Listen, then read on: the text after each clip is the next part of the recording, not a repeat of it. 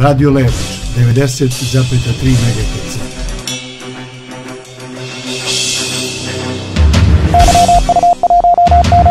Levačke vesti.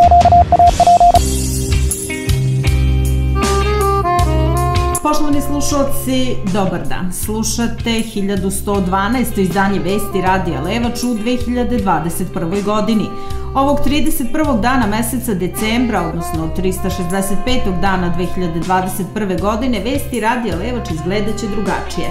Napravit ćemo pregled godine koja odlazi od ponoći. Mnogi od nas reći će neka ide i ne povratila se. Nije sve bilo loše. Onakvi kakvim nas je Bog dao, uspeli smo da u teškoj godini koja je obeležila pandemija koronavirusa uradimo mnogo dobrih stvari. Sada ćemo samo o tim dobrim dešavanjima. Broje manifestacija ponosili bi se i mnogi bogati i veći gradovi u Srbiji. Ako smo nešto propustili, nemojte nam zameriti.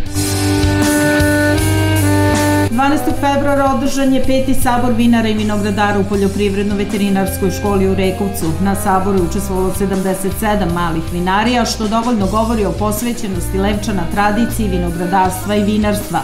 U februaru je na teritoriji opštine Rekovac osnovana zadruga Levački biser. Dana zadruga širi članstvo, a sama zadruga obuhvata mešovitu proizvodnju, pa su u njen rad uključeni stočari, povrtari, živinari i voćari. U martu za realizaciju projekta digitalizacije javnih usluga u opštini Rekovac, Ministarstvo državne i lokalne samouprave odobrilo je našoj lokalnoj samoupravi 3,2 miliona dinara. Isti projekat opština je podržala sa 700.000 dinara. Od 1. aprila u hali sportova u Rekovcu počelo je postavljanje košarkaške konstrukcije i semafora za male sportove. Sredstva za ovaj projekat donirala je ambasada Republike Kine. 14. aprila Biljana Tomić, direktorka Narodne biblioteke dr. Milovan Spasić, zvanično je poželjela dobrodošlicu na novi web sajt kao i digitalnu biblioteku koja sadrži digitalizovane materijale sa područja opštine Rekovac koji su od kulturnog i istorijskog značaja. 22. aprila Rekovac je posetio ambasador Irana u Srbiji, njegova ekscelencija Rashid Hassan Purbaei. 29. aprila turistička organizacija Kulturni centar i Kancelarija za mlade opštine Rekovac uspešno organizovali humanitarni bazar za malog Gavrila i time dali svoj doprinos šansi za život malom Gavrilu. Početkom maja izvršena je rekonstrukcija elektromreže u Bogalincu u dužini od oko 1500 metara.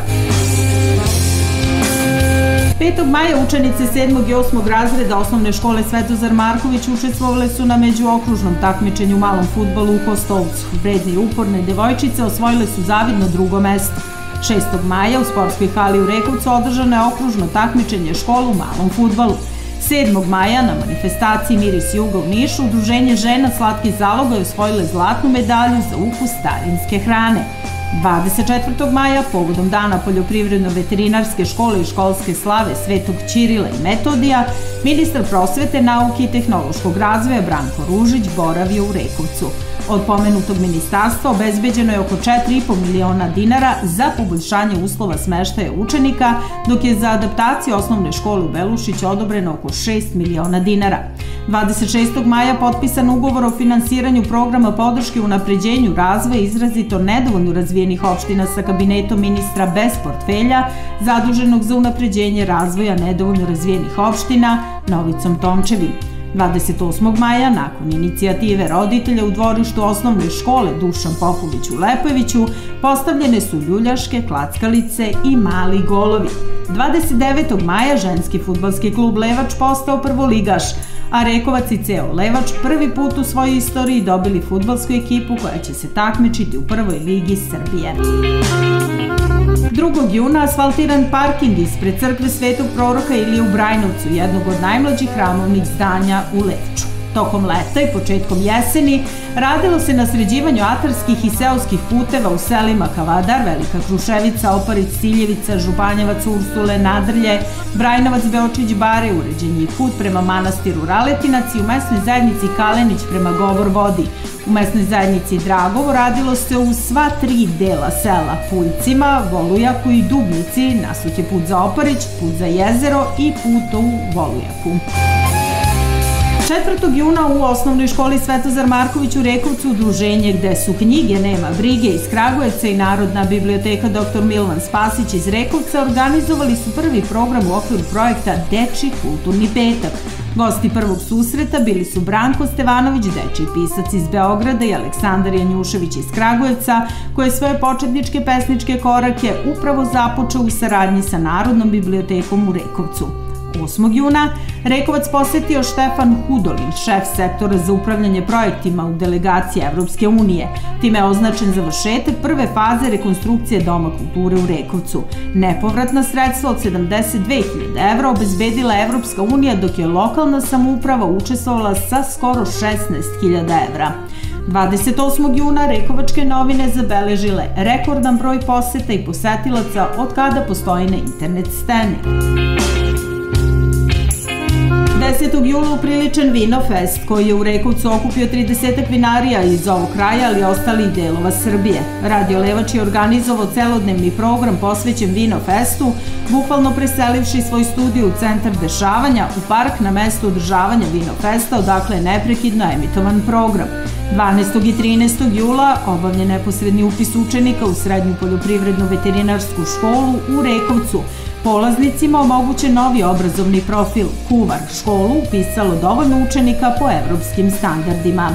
21. jula predsednik Srbije Aleksandar Vučić posetio Rekovac. Ako je Šumadija srce Srbije, onda je Levač srce Šumadije.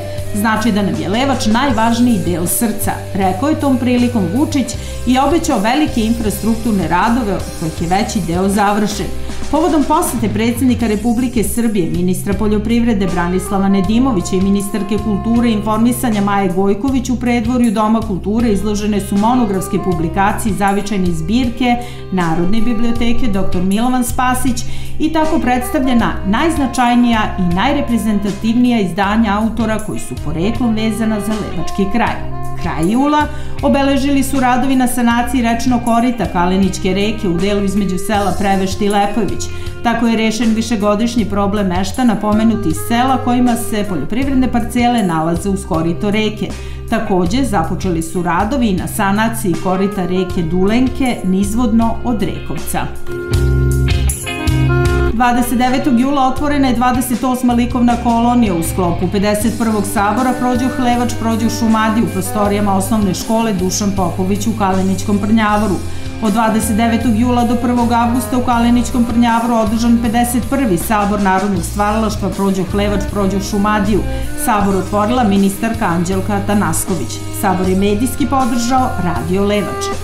30. jula u okviru Sabora održan 11. po redu Zlatni glas Sabora koji je ušao u Levačke domove zahvaljujući direktnom prenosu Radija Levač.